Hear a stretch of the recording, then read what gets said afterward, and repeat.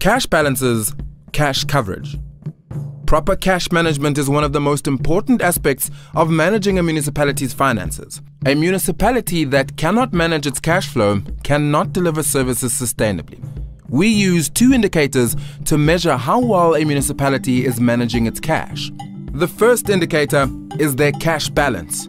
Cash balances are the monies left over after paying all expenses. A municipality should end every financial year with a positive balance in its bank account. If a municipality has a negative cash balance, its bank account is an overdraft. Negative cash balances are a sign of serious financial management problems.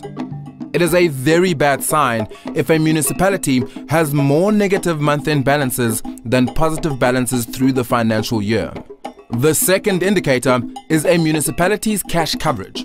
Like any business, a municipality should always have enough cash on hand to be able to pay salaries, suppliers, rent, and all other expenses that it owes on a monthly basis. The cash coverage indicator measures the number of months that a municipality can pay its bills if it only uses the money it currently has in the bank.